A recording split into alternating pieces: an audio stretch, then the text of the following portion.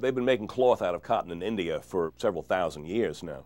Um, but the kind of cotton that grew in this country, except very right along the Atlantic coast, was short staple cotton. With short staple cotton, the seeds were embedded and were sticky, and pulling the seeds out of the cotton was very, very difficult. I mean, for instance, one man could pick, in a day, could pick about 50 pounds of cotton in the field. It would then take him three weeks to pull the seeds out of the cotton. And Eli Whitney, who was a New Englander from Connecticut, visited the South.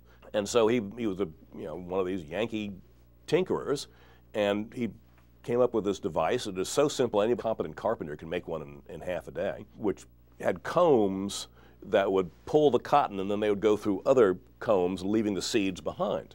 And they, the seeds would go into one box and the cotton would go into another.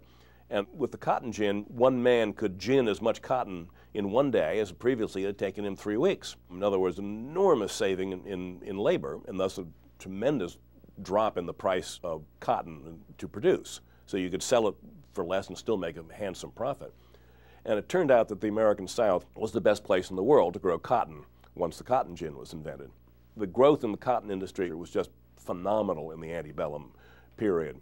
I mean, we went from like 40,000 pounds in 1800 to um, 2 billion pounds in 1860.